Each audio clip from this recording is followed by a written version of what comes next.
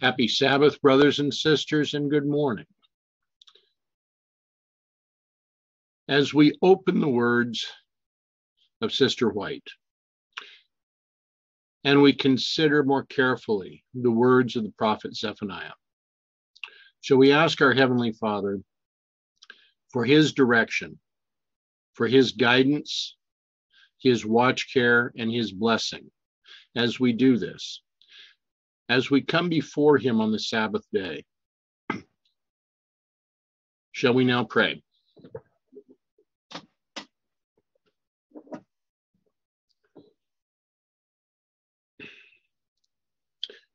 Loving Father in heaven, we thank you for the Sabbath and for its hours of rest. We thank you, Father, for these many blessings that you have provided through this week that is now past, and for this day in which we come before you. As we open these words, Father, as we come to consider these words, we need you. We need the protection of your angels, the guidance of your spirit, and we need your wisdom to carefully divide the word of truth.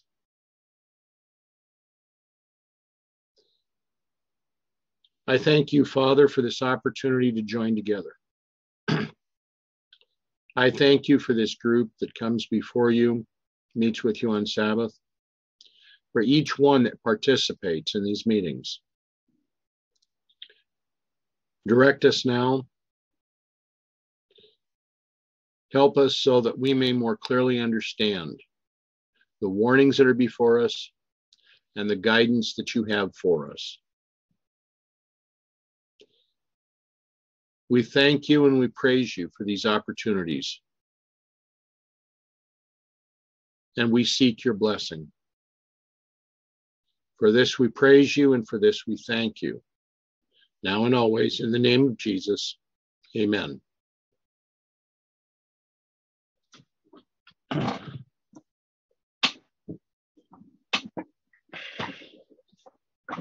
Now, what is before you was from the 11th of October, 1906, the title being Universal Guilt During the Time of the End. As Mrs. White addressed, there is coming rapidly and surely an almost universal guilt upon the inhabitants of the great cities because of the steady increase of determined wickedness. God has given life to man in order that through a knowledge of the word and by practicing its principles, the human agent may become one with God, obedient to the divine will. But Satan has been working constantly by many devisings to bring man into disfavor with God.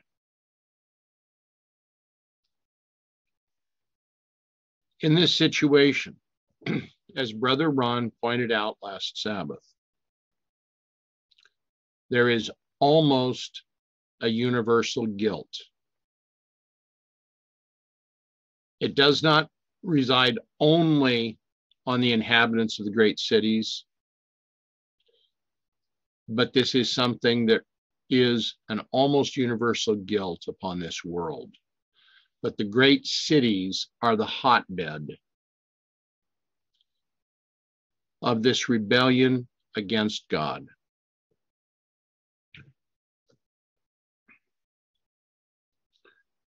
In the antediluvian world, human agencies brought in all manner of devisings and ingenious practices to make of no effect the law of Jehovah.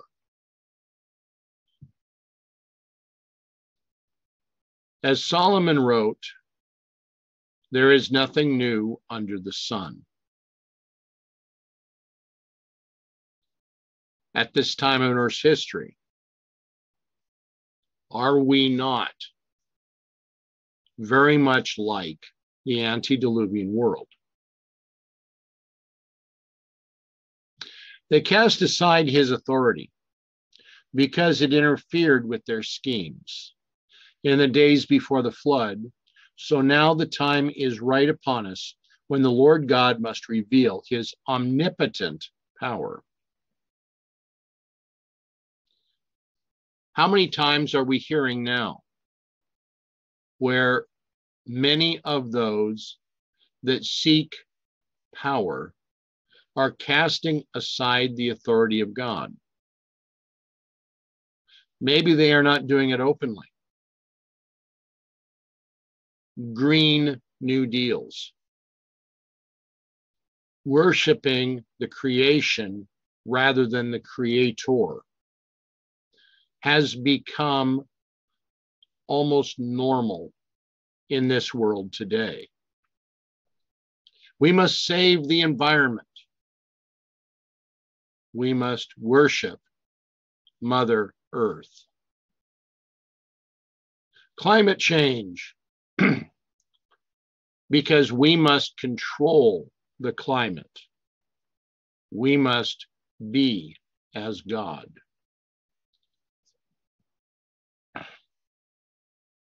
Even many of those who claim to believe the truth do not practice the truth.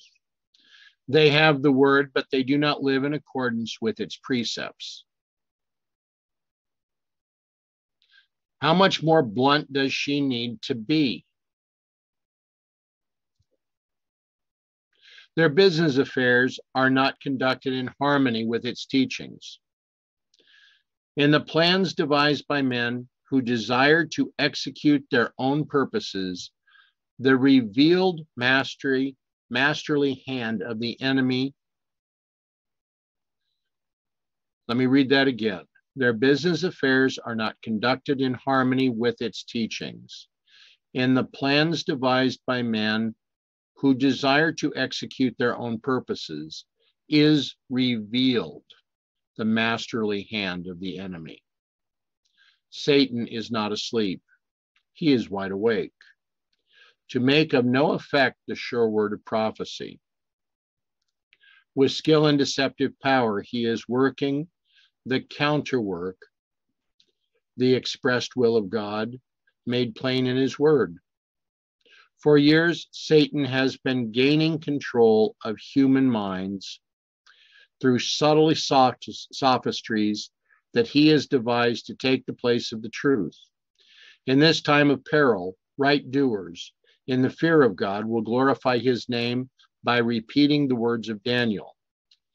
It is time for thee, O Lord, to work, for they have made void thy law.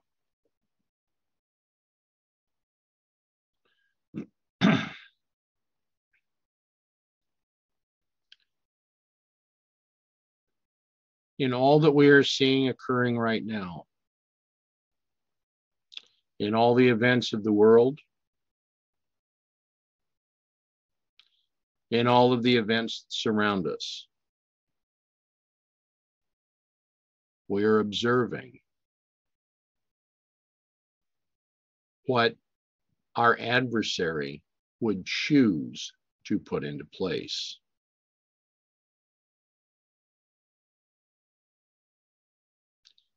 Through his prophet Zephaniah, the Lord specifies the judgments that he will bring upon evildoers. I will utterly consume all things from off the land, saith the Lord. I will consume man and beast. I will consume the fowls of the heaven and the fishes of the sea and the stumbling blocks with the wicked and I will cut off man from off the land, saith the Lord. I will also stretch out mine hand upon Judah and upon the inhabitants of Jerusalem, and I will cut off the remnant of Baal from this place, and them that worship the host of heaven upon the housetops, and them that worship and swear by the Lord, and that swear by Malcham, and them that are turned back from the Lord, and those that have not sought the Lord, nor inquired of him. Hold thy peace at the presence of the Lord, for the day of the Lord is at hand. For the Lord has prepared a sacrifice, he hath bid his guests. Zephaniah 1 2 to 7. And it shall come to pass in the day of the Lord's sacrifice that I will punish the princes and the king's children, and all such are clothed with strange apparel. In the same day also I will punish all those that leap on the threshold, which fill their masters' houses with violence and deceit. Zephaniah 1 8 and 9. What do we take it to mean when the princes, the king's children, and such that are clothed with strange apparel are being addressed? How are we to apply this symbolically? Well, if you're looking at, um, now it says in the day of the Lord's sacrifice. So, right. what would that be? What is that a reference to? would it be the Day of Atonement? I would think so. That's um, the way I would take it. Yeah. So this is talking about our time. And that I will punish the princes. So that would be um, who would the princes be in this verse? Well, as we have addressed previously, we are looking at this first to ourselves, then to the movement, and then to the church at large. Right. So, so here would this be civil and religious authority within right. the church? Exactly. And when we had looked at, at princes before, that that's the word sar. So often that refers to um, uh, so that's usually a civil authority. Got means lots of different things, but um, and but the king's children that's Melech, which is um, so that's the king. So that again, these actually look both like civil authority. Um,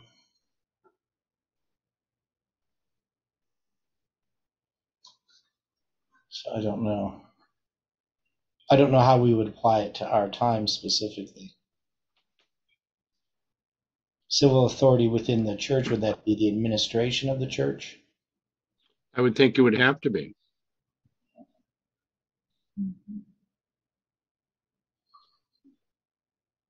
But if it was in this movement, who would that be, or what would it represent?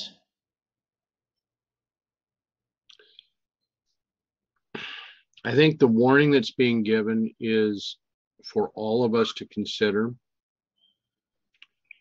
Now, granted, we do not have a civil authority, quote unquote, within the movement.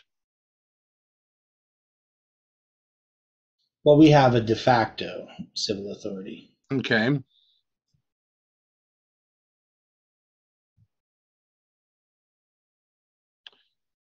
Now, a comment from the chat gives a reference from Psalm 50, verse 5, and then Revelation 19, verses 17 and 18.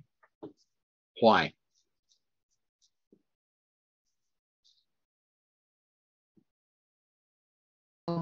Focusing on the word sacrifice when Christ is coming, he or just before he comes, he says, Gather my saints together unto me, those that have made a covenant with me by sacrifice. And in Revelation 19, it talks about gathering the those that are being punished together to be destroyed, basically um, eating the flesh of kings, the flesh of captains, and so forth. And it mentions animals that are going to be eaten. So it's judgment. Okay. But I find this this portion here where he will punish the princes and the king's children, and all such are clothed with strange apparel. How are we? They came. To the, yeah, they sorry, they came to the wedding feast without Christ's character. And last time we went went over this when I saw the king's children and the princes, I was thinking of the mainstream church's hierarchy. But it's more than that, of course. But what symbol do we see with this that are clothed with strange apparel? Is it not that these are those that refuse to accept the character of Christ? They lift, themselves, they lift themselves up and don't lift up the character of Christ.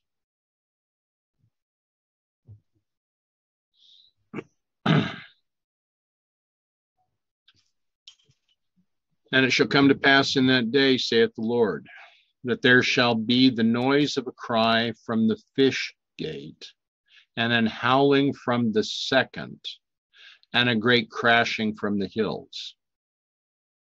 Howl ye inhabitants of Maktesh, for all the merchant people are cut down. All they that bear silver are cut off. And it shall come to pass at that time that I will search Jerusalem with candles and punish the men that are settled on their lees, that say in their heart, The Lord will not do good, neither will he do evil. Therefore, their goods shall become a booty, and their houses a desolation. They shall also build houses, but not inhabit them.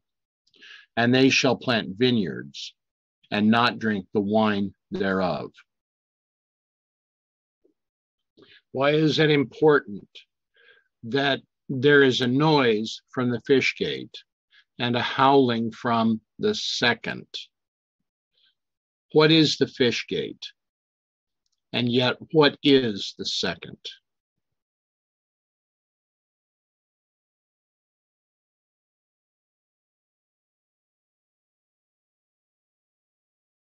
Those are good questions. Um,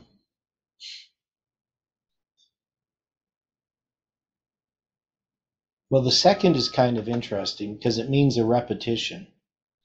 So my my question on the second is is this a howling because of the second angel's message? Well, I don't know. Um, it's interesting though because the word is Mishnah. Okay. Which is uh, the Mishnah is the name for um, a commentary on uh, the Talmud. Right. So it that's why it's it's called the Mishnah because it's a repetition or a commentary. So, but I'm not sure about the fish gate. I mean, what this particularly uh, refers to. I mean, it's it's the word dog in Hebrew. Um,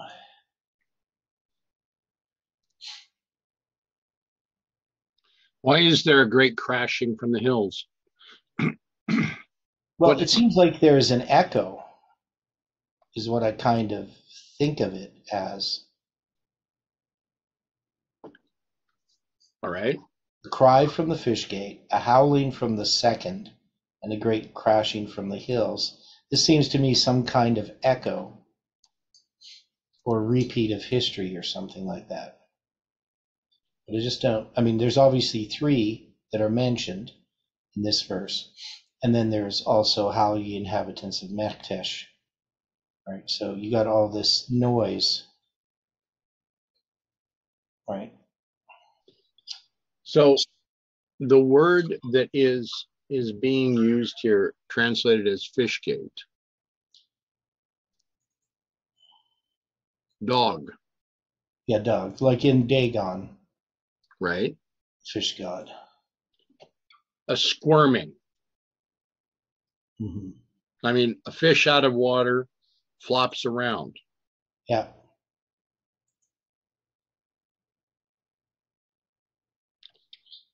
those that are taken out of their element become very unsure of themselves, very nervous. Uh, I'm reading here about the fish gate. It says it was an ancient gate on the east wall, just west of the Gihon or Gihon Spring, where men gather to sell fish. Sometimes in violation of the Sabbath, and then it gives Second Chronicles 33, 14, etc. And then Yeah. it says this may be the same as the middle gate in Jeremiah 39, 3, but is more likely to be the modern day Damascus gate. So this was surrounding the city, Jerusalem. Yeah, and this in, in Nehemiah they rebuild this gate, um, and they talk about that. Uh, and from above the gate of Ephraim, above the old gate, and above the fish gate, the tower of Haniel, the tower of Meah, even unto the sheep gate. Um, and the context here is um, uh, this rebuilding that goes on. And uh, all these dedications and so dedication of the wall is when they're talking about that. So they have all these people set out around the wall and uh, they're dedicating the wall. So they mention the fish gate in that context Okay. so but the idea that you have this cry from the fish gate and then the second and uh, i mean what particularly this would normally mean, I don't know.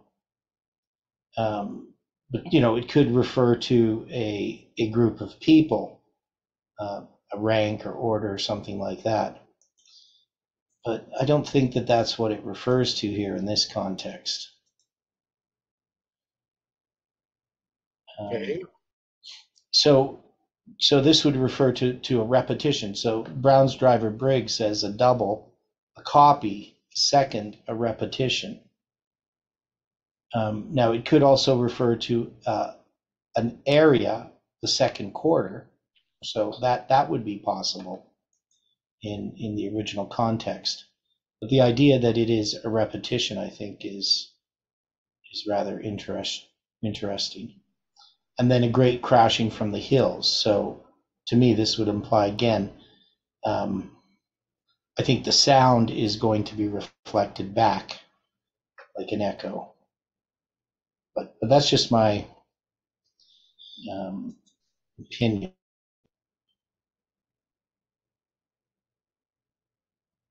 Okay. Why is the admonition being presented? Howl, ye inhabitants of Maktesh. What is so important about one area of Jerusalem, Maktesh? yeah, so this is a valley or a hollow in greater Jerusalem area.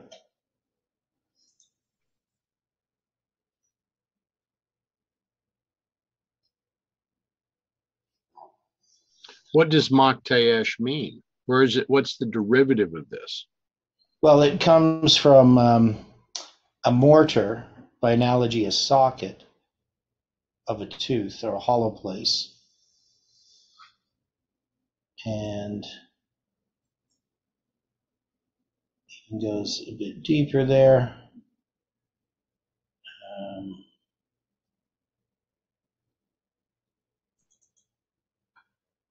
um, katash, to butt or pound. Hmm.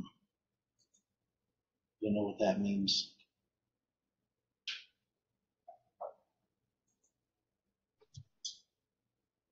Okay. Howl ye inhabitants from Maktesh, for all the merchant people are cut down.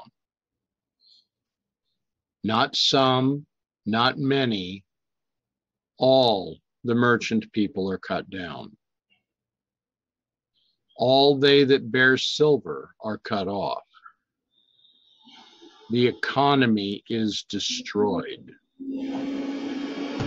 There is nothing that can be done, for the merchant people are cut down. And it shall come to pass at that time that I will search Jerusalem with candles. Why is he searching Jerusalem with candles? Is this not a very close examination? An examination, oh, Amen. okay, an examination that that cuts right to the heart of the matter.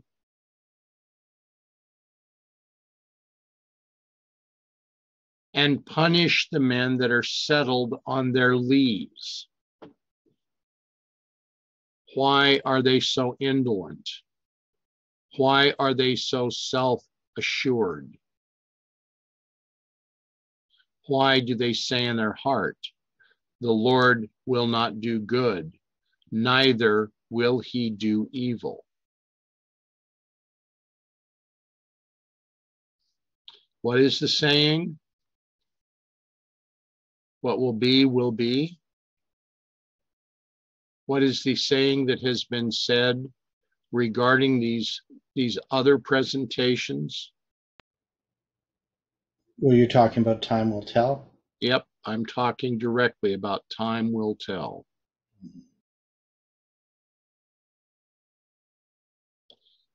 Is this, this- is definitely, sorry, this is definitely aimed at those who are self-righteous, very complacent. It's the message to Laodicea. But is this also not a more pointed description than time will tell when they are saying the Lord will not do good, neither will he do evil? There is no Sunday law in the pipeline. The church will make it through. Let us eat, drink, and be merry, for tomorrow we die. Oh, no, we won't. We're safe. We're God's chosen. Therefore, their goods shall become a booty, and their houses a desolation. They shall also build houses, but not inhabit them, and they shall plant vineyards, but not drink the wine thereof. The great day of the Lord is near. It is near. A doubling. And hasteneth, hasteneth greatly even the voice of the day of the Lord. The mighty men shall cry there bitterly. That day is a day of wrath, a day of trouble and distress, a day of wasteness and desolation, a day of darkness and gloominess, a day of clouds and thick darkness, a day of the trumpet and alarm against the fenced cities and against the high towers. And I will bring distress upon men, and they shall walk like blind men, because they have sinned against the Lord. And their blood shall be poured out as dust, and their flesh as the dung. Neither their silver nor their gold shall be able to deliver them in the day of the Lord's wrath. But the whole land shall be devoured by the fire of his jealousy for he shall make even a speedy riddance of all them that dwell in the land. Zephaniah 1 14 to 18. Is there any better description of what is occurring here than what we have just studied regarding Abimelech?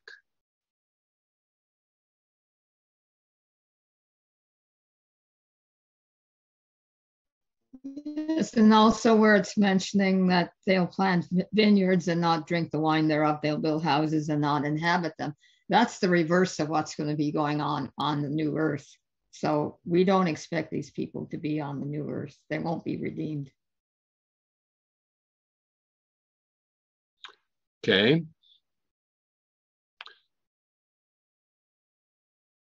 Did Abimelech not come against the fenced cities? And did he not come against high towers? Yet here is Abimelech. He was not accepted as one of Gideon's sons he was the son of a strange woman. He came as a mighty man, but he came with a character unlike that of Christ. You could say that Abimelech, in the way that he approached things, was representative of the anti Christ.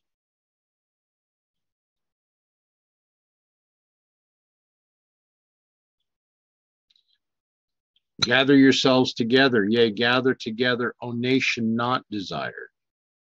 Before the decree bring forth, before the day pass as the chaff, before the fierce anger of the Lord come upon you, before the day of the Lord's anger come upon you.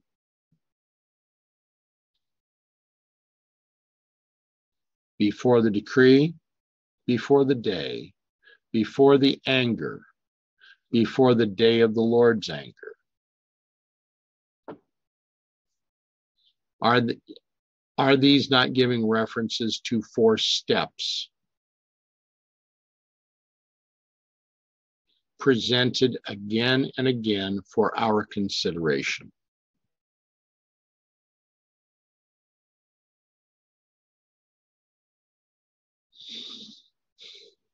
How do we stand in the day of the Lord's anger? How can we stand without his character?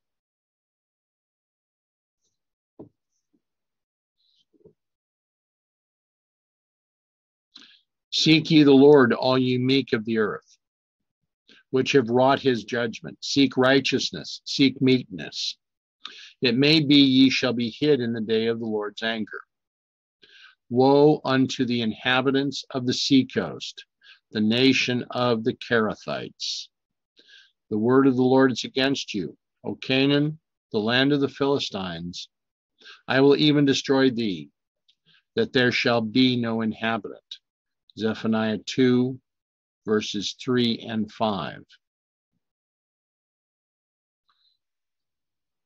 As I read this, I was asking myself the question why was verse 4 skipped over? For we read there, For Gaza shall be forsaken, and Ashkelon a desolation. They shall drive out Ashdod at the noonday, and Ekron shall be rooted up.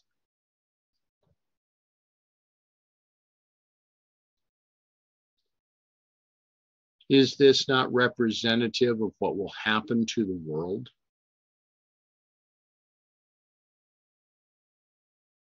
What other symbol can we draw from this?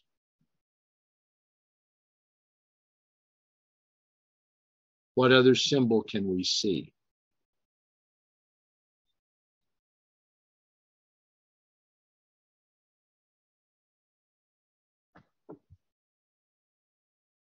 In many places, there exist conditions that make these words of warning applicable in this our day. Is she speaking only about what she sees in 1906, or are we see are we seeing this with application to what is happening in 2022? What say you? Well, she says that the the earthquake in San Francisco um, is a fulfillment of this, but we know that it's typical of what's going to happen.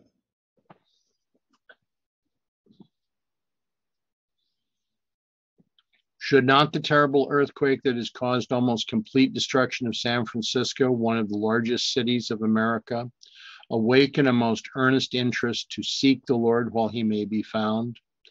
Let not our ministers in their discourses dwell upon commonplace matters.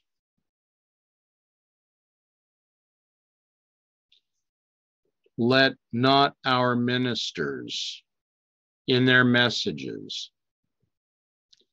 dwell upon commonplace matters, matters that have no eternal import matters that are not of God, but are of man. Now is a time where there should be a humbling of the heart before God. Let us seek him while he is to be found on the pardoning side and not on the judgment side. Wake up, my brethren and sisters. You have no time to lose. Call upon the Lord while he may be found. Wait ye upon me, saith the Lord, until the day that I rise up to the prey. For my determination is to gather the nations, that I may assemble the kingdoms, to pour upon them my indignation, even with all my fierce anger. For all the earth shall be devoured with the fire of my jealousy. Zephaniah 3, verse 8. The remnant. Yeah, and to me, this, this, because uh, we looked at this last time, but um, just to kind of reiterate this, um, when we have this uh, indignation, uh, we know that there is um, this can relate to the 2520 right.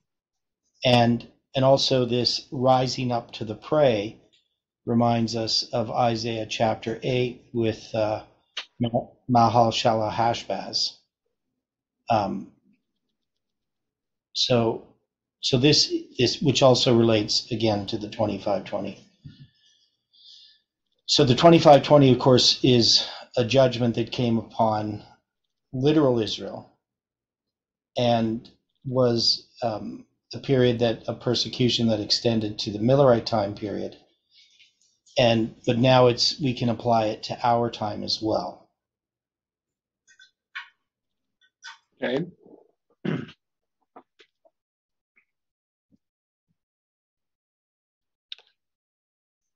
The remnant of Israel shall not do iniquity, nor speak lies. Neither shall a deceitful tongue be found in their mouth.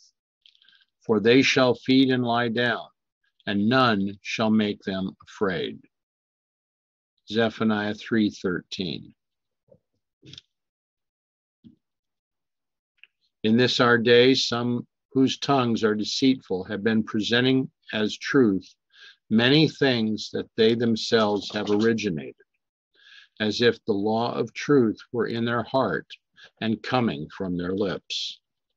But the Lord will surely punish every deceitful, lying tongue that has caused the people to err and to turn from the righteousness of Christ.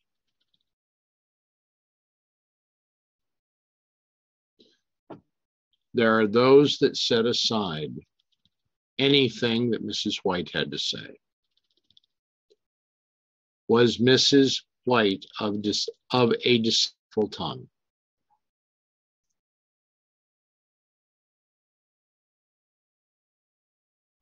Far from it. And notice that's in paragraph 13. Okay. But was she of a deceitful tongue? Negative. No, she certainly wasn't. So this is not being written about Mrs. White, but this is written about those that would set her and her writings aside.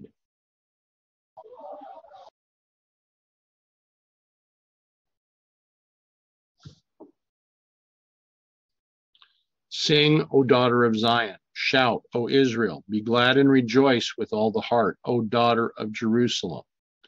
The Lord hath taken away thy judgments, he has cast out thine enemy. The King of Israel, even the Lord, is in the midst of thee. Thou shalt not see evil any more. In that day it shall be said to Jerusalem, Fear thou not, and to Zion, Let not thine hands be slack. The Lord's the Lord thy God in the midst of thee is mighty. He will save. He will rejoice over thee with joy. He will rest in his love. He will joy over thee with singing. I will gather them that are sorrowful for the solemn assembly, who are of thee, to whom the reproach of it was a burden. Behold, at the time I will undo all that afflict thee, and I will save her that halteth, and gather her that was driven out. And I will get them praise and fame in every land where they have been put to shame. Zephaniah 3 14 to 19.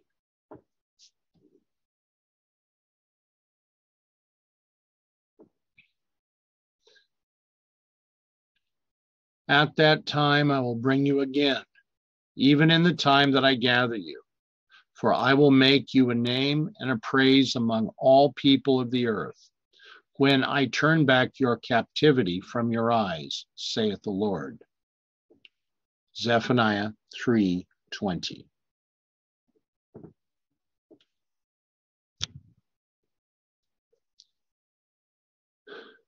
Mrs. White wrote further at about this same time. And we find these additional items written in the ninth testimony, beginning on page 48. Let church members bear in mind that the fact that their names are registered on the church books will not save them. Membership does not have its advantages. Just because your name is registered on earth as being of the church of God does not mean that in heaven your name is written in the book of life. What a chilling thought for many.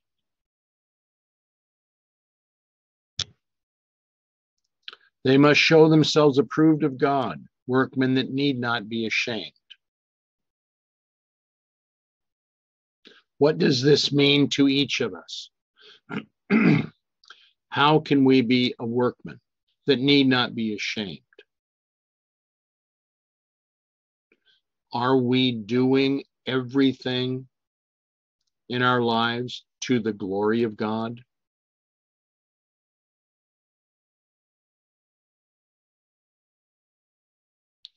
How are we to be as workmen that need not be ashamed? Day by day, they are to build their characters in accordance with Christ's directions. Can you build your character according to Christ's direction if you are stealing, if you are lying, if you are setting aside his precepts?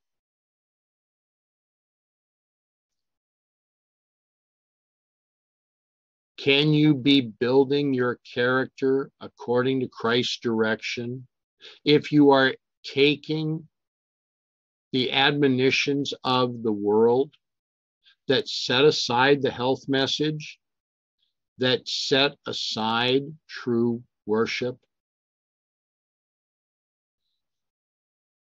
They are to abide in Him, constantly exercising faith in Him.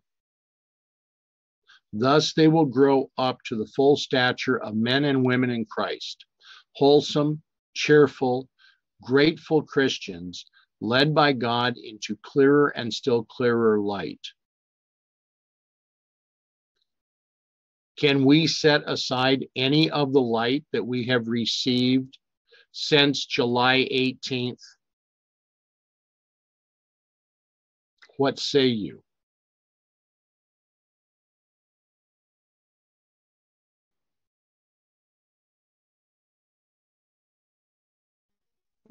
Would be extremely unwise and destructive to do so.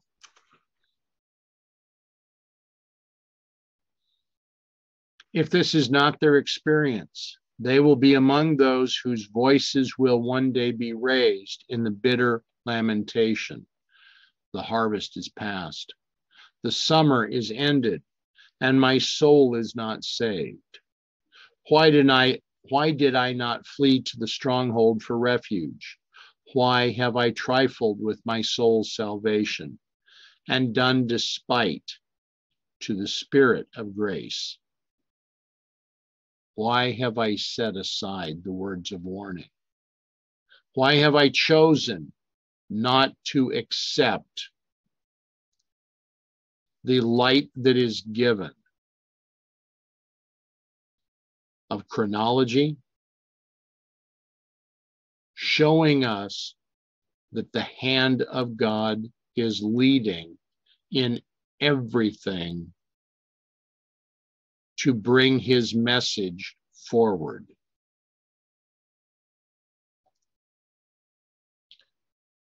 The great day of the Lord is near. It is near and hasteneth greatly. Zephaniah 1:14.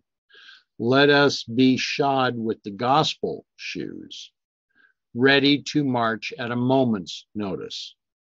Every hour, every minute is precious.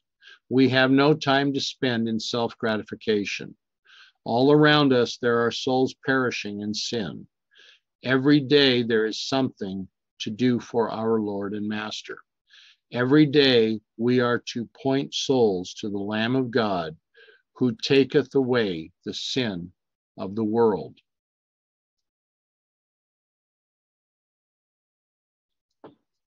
How better to point souls to the Lamb of God who taketh away the sin of the world than by showing his character in everything that we do.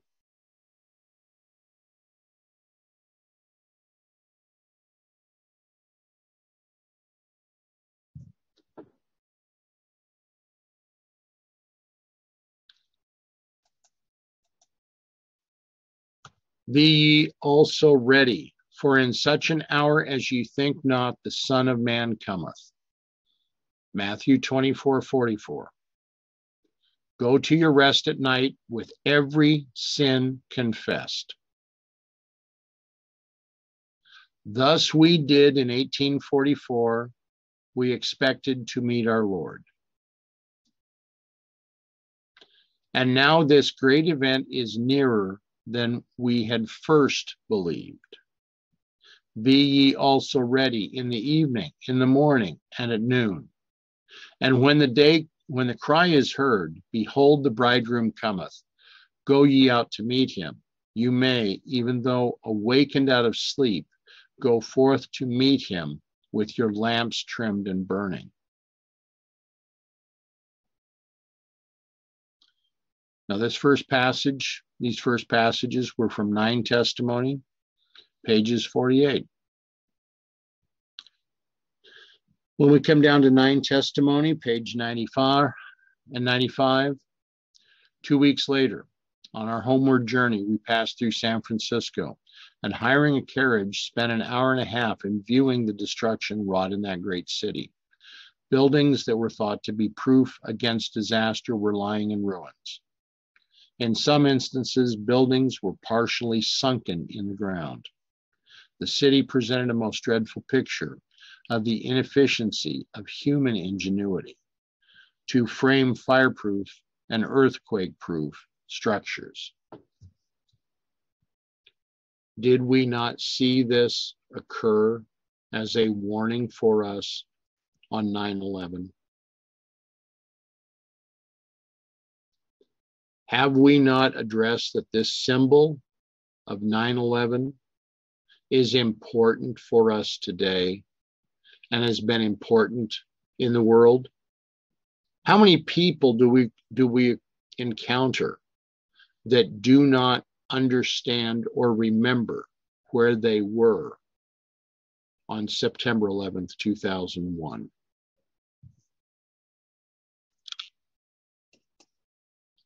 Through his prophet Zephaniah, the Lord specifies the judgments that he will bring upon evildoers.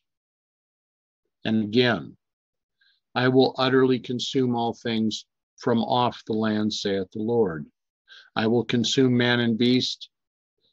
I will consume the fowls of the heavens and the fishes of the seas and the stumbling blocks of the wicked, and I will cut off man from the land, saith the Lord.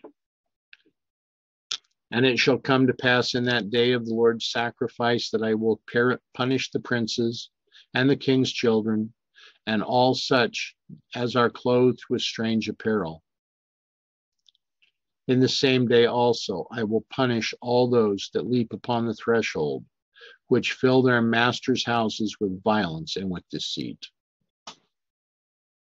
How many times do we need to be warned?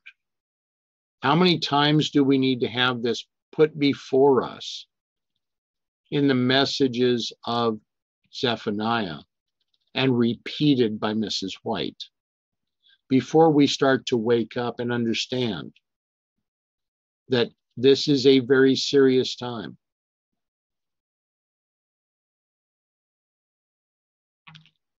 When we come to the end of our day, when we are confessing our sins,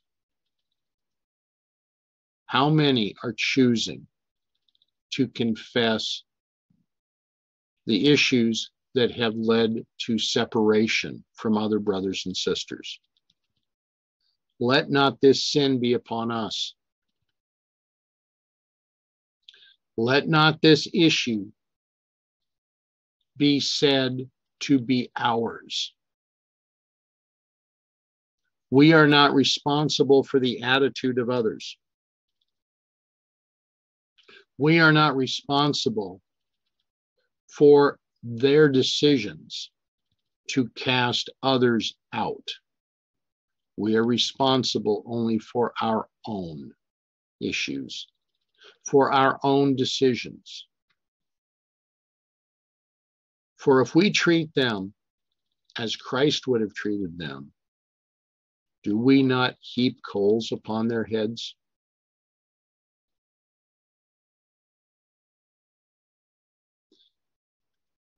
If we seek, go ahead. Excuse me, Dwight. I just want to bring up we have done something and it stumbles somebody else or has made someone really upset with us, we should try our best when we find out about it to make things right. And then it's on the other party as to whether they want want want to reconcile or not.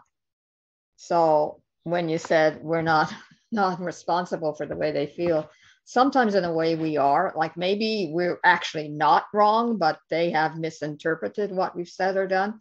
But sometimes we are wrong. And i know i annoyed a lot of people because it's coming back at me.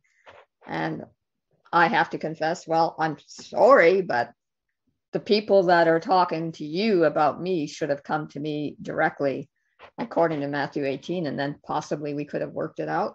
But that isn't happening Okay. Any other comments about what I just said?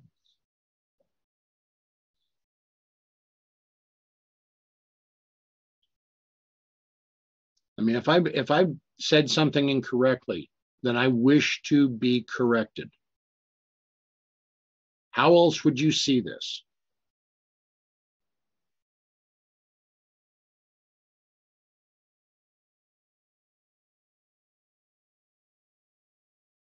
I'm stating this from what I have observed. There have been those that are not happy with many of the things that have been being presented since July 18th.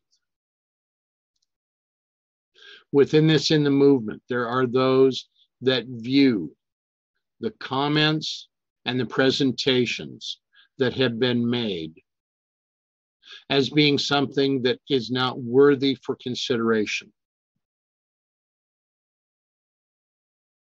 Last evening, I received a message from a brother that I've not heard from for many months. It surprised me to hear from him. Because many months ago, the presentations that I had made, that I was led to make, both at the School of the Prophets and in the Sabbath sessions leading up to December 6th.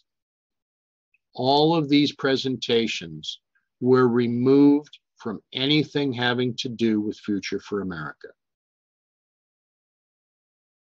In a manner of speaking, I was cast out.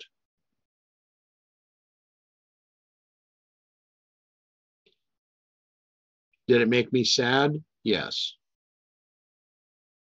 Not because I was cast out, but because everything that had been said,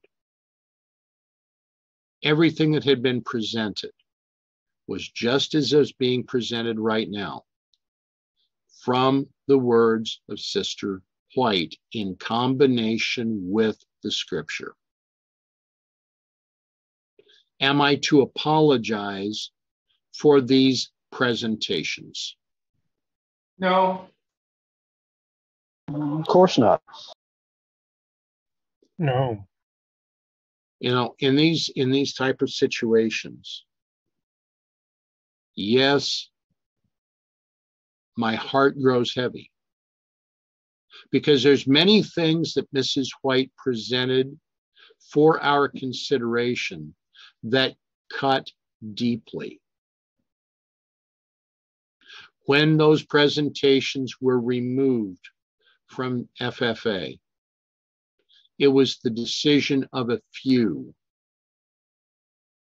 because I had stood up, because I disagreed with comments that were being made, because I had disagreed with the decision of the few to remove anything that was presented by one person, by Theodore. They did not like the fact that one person would stand up. I accepted what they had to say, but my heart was still heavy.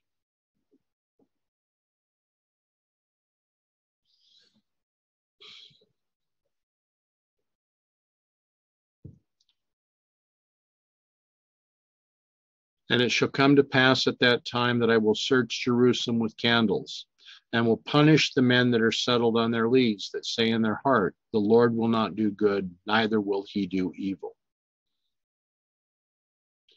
Therefore, their goods shall become a booty, and their houses a desolation. They shall also build houses, but not inhabit them. And they shall plant vineyards, but not drink the wine thereof.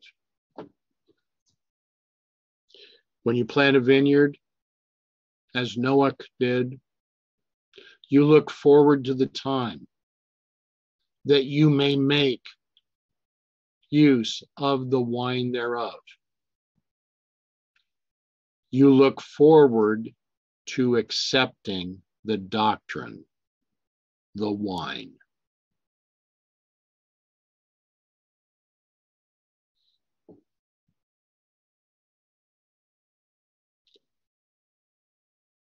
The great day of the Lord is near.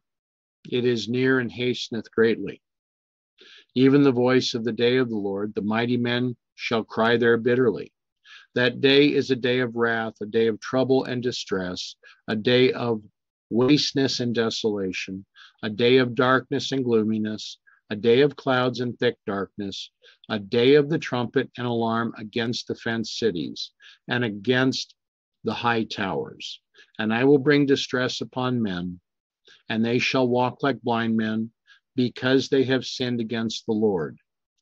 And their blood shall be poured out as dust, and their flesh as the dung. Neither their silver nor their gold shall be able to deliver them in the day of the Lord's wrath. But the whole land shall be devoured by the fire of his jealousy, for he shall make even a speedy riddance of all of them that dwell in the land. Zephaniah 1, 2, 3, 8 to 18.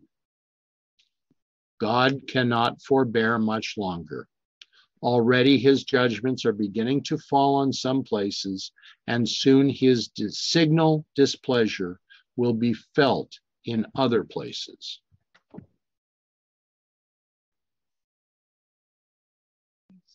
Do we wish to be where God's displeasure and his judgments are going to fall? Do we wish to be part of those judgments? I would say no.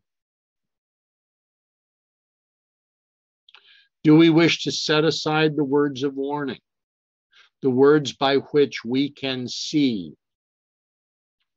that the judgments are coming and coming more quickly than the world would anticipate. How are we to react at this time?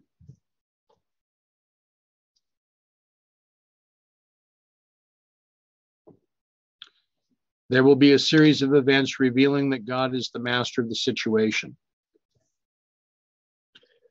With the presentation that was given last night, are we not able to see the hand of God in everything that has been being addressed up to and since July 18th of 2020? Are we not seeing that it takes much more than man's finite wisdom to present these patterns over and over and over again for our consideration?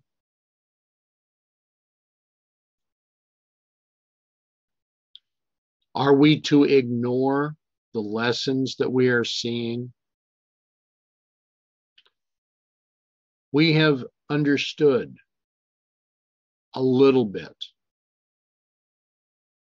about the number 220, about the 2300, about the 1260, about the 1335, and about the seven times. But these patterns are repeated for us to help us focus on that which we are to do. The truth will be proclaimed in clear, unmistakable language.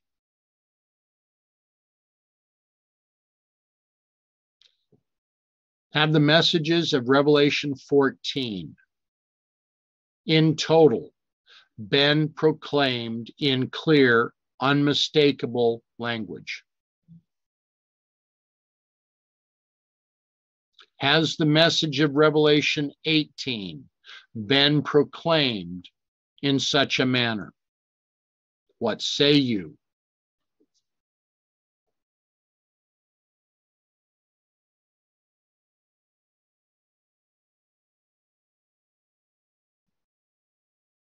That work still needs to be done. Amen. Consider this, my brothers and sisters.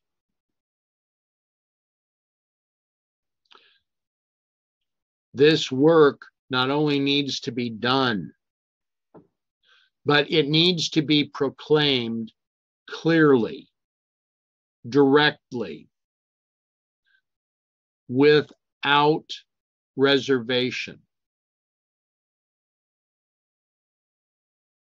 The first two messages of Revelation 14 were given clearly by Father Miller and those that proclaimed that portion of the message.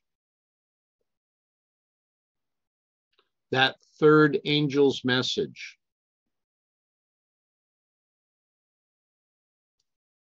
Announcing that the hour of his judgment is come, has yet to be clearly proclaimed.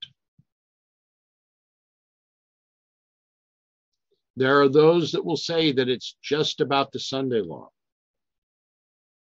There are those that will say it is just about righteousness by faith.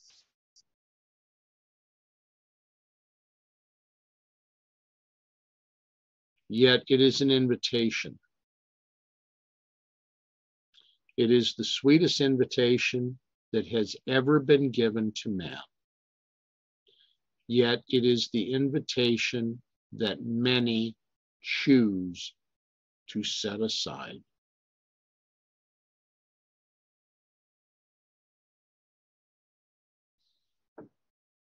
As a people, we must prepare the way of the Lord under the overruling guidance of the Holy Spirit. Why? How do you see this? Have we accepted the leadership of the Holy Spirit? Have we accepted his overruling guidance? Or have we said, like others, we are doing for the Lord? We are publishing for the Lord. We are correcting the mistakes that is found within what Mrs. White wrote.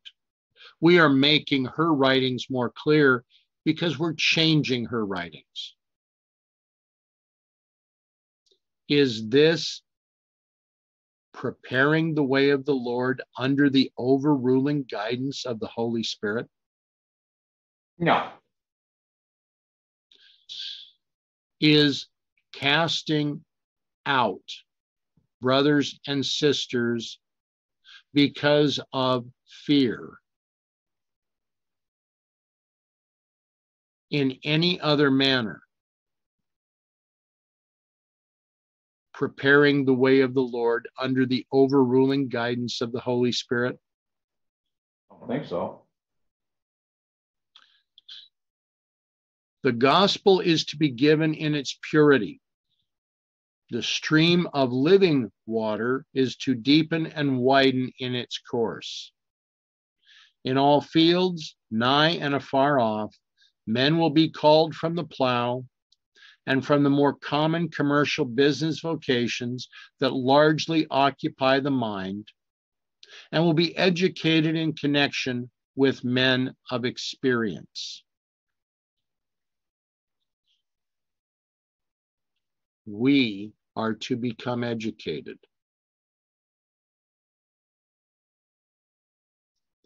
We are to become educated even if we have had damage to our minds through the use of alcohol, through the use of drugs, through other issues. Maybe a physical ailment, maybe a physical accident. We are yet to become educated we are to become educated to give a message in clear, unmistakable language under the overruling guidance of the Holy Spirit. Does this mean that we are to go to Andrews for our education? Does this mean we are to go to Pacific Union College for our education? Does this mean that we are to go to those that are accredited for our education? I would say that such could easily be shown, like that which was said of John and of Christ that had they been schooled, had they been educated in the schools of the rabbis, that they would have been unfitted for the work that was then before them. The same is true of us today.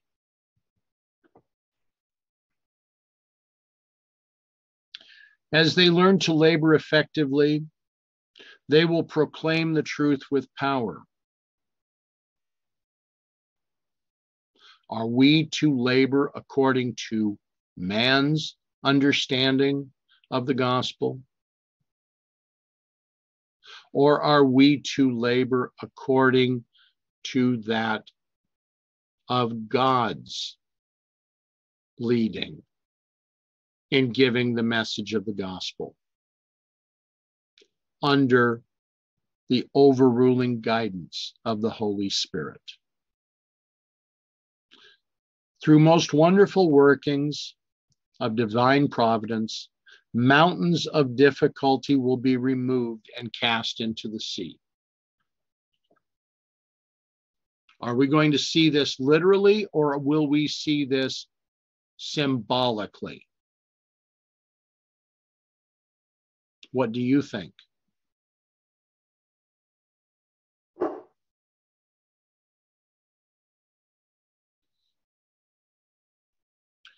The, Sorry, can you repeat that again? Through the most wonderful workings of divine providence, Mountains of difficulty will be removed and, ca- and cast into the sea. Are we speaking here literally or are we speaking symbolically? Or be symbolically. I would agree. The message that means so much to the dwellers upon the earth will be heard and understood. Men will know what is truth.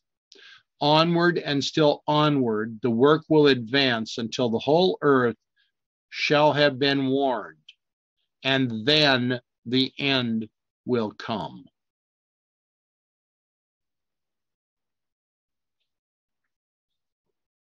How much more direct did she need to be? How much more clear could she have been than she has been in this one paragraph from Nine Testimonies, page 96? It's pretty clear. I mean, I don't have any problems understanding it. Yeah, and, and this has been a problem in this movement in that we expect the end to come before this work is done. So we expect a Sunday law to come before the church and the world have been properly warned. Um, but this counsel would tell us that we can't look now uh, for a Sunday law until this work is done. We can't look for those. We can't look for those end, end events to be fulfilled uh, unless we understand the order of their fulfillment. The order of their fulfillment is that the message of warning first goes.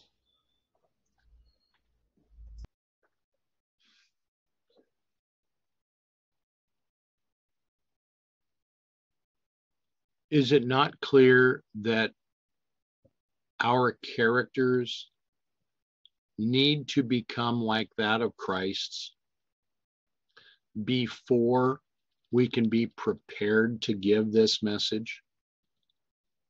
It seems very clear.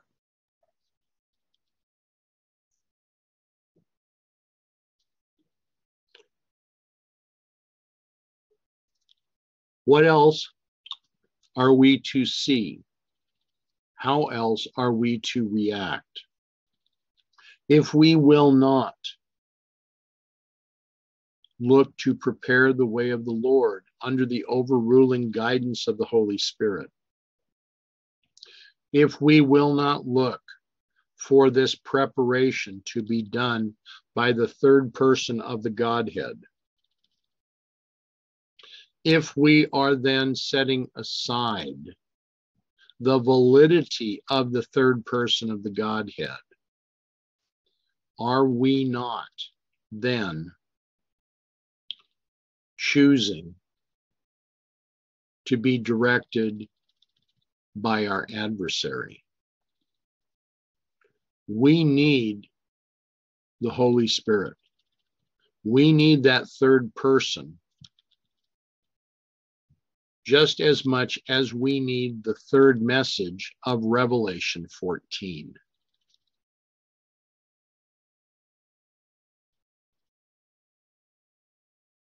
The message has arrived. To a point, the message has begun to be formalized. But have we accepted that that message is yet to be empowered.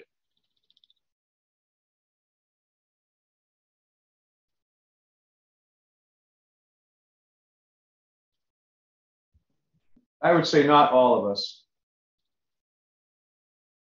I would have to agree. Then what are we to do so that the message can be empowered?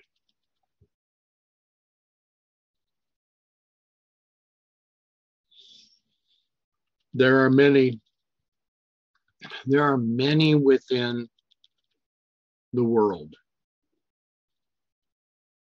that would gladly proclaim that a Sunday law is soon to fall and soon to come.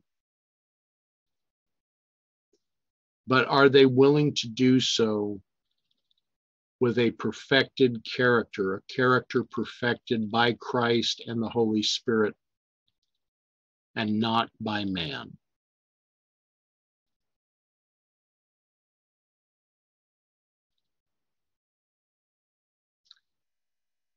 The true third angel's message will lay the glory of man in the dust. The true third angel's message will make man's glory as no better than that as a worm.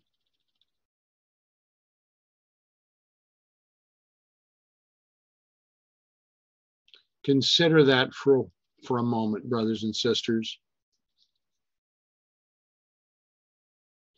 Because if your glory is no better than that as a worm,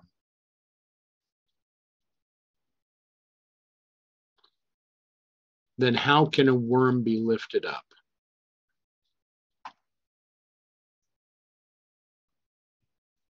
How can a worm draw men unto them?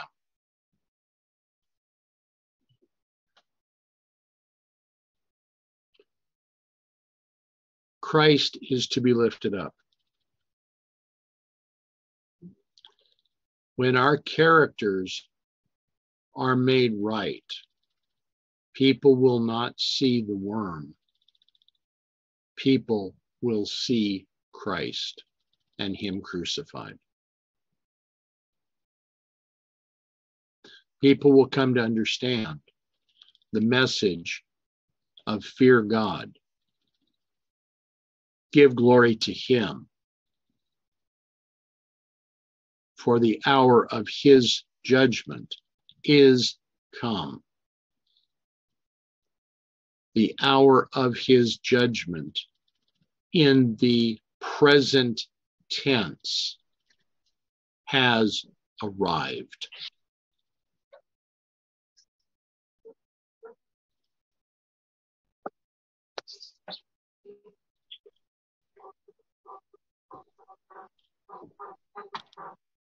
Now, as we're coming toward the close of today's session, are there any other comments or questions regarding what we have just read?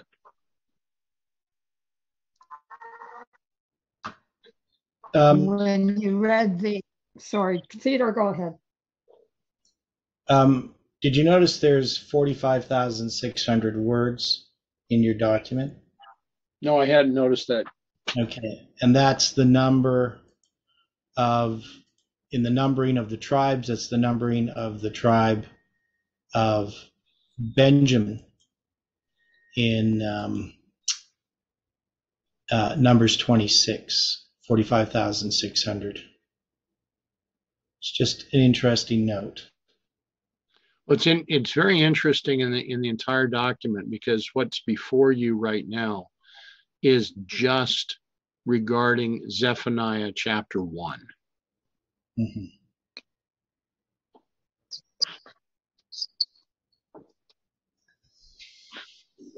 Yeah, I was going to comment about where you read the, uh, the cap- captivity will be turned before your eyes. Yes. And I know that's about re- restoration on a large scale, but I was also thinking of there's a person that I'm trying to feed. I say trying to feed because she's very easily involved with a whole lot of stuff, right? And she knows she's under conviction, but she always has an excuse as to why she can't perform what the Lord is convicting her to do. And I thought, well, that's like you're focusing on what's holding you back. But if you would just turn to the Lord, He will make those rough places smooth. I mean, that's the challenge we all face. We can always have an excuse for why we're putting off what we ought to be doing. A major thing we're putting off. And the most important thing is to surrender to Christ and let Him take over our lives so that we can overcome those problems, that those defects or those obstructions, whatever it is, that's holding us back. And I and I told her, I said, since I've been yielding more to Christ, I've prevented a lot of crises that used to happen in my life uh, reoccur. I'm trying to get that through to her. So please pray that she wakes up to this fact. Yes, I, even if it's just one little baby step at a time, the Lord will amplify that.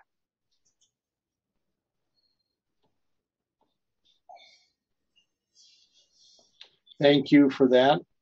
Now, are there any other comments? Any other questions?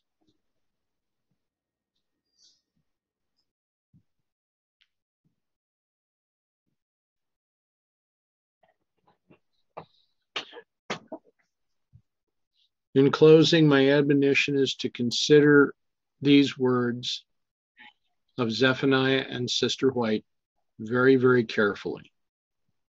They are in full agreement. They are the words of prophets that are of equal stature.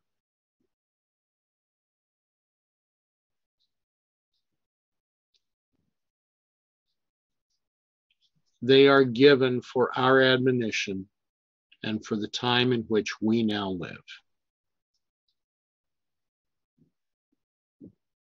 Shall we close with prayer?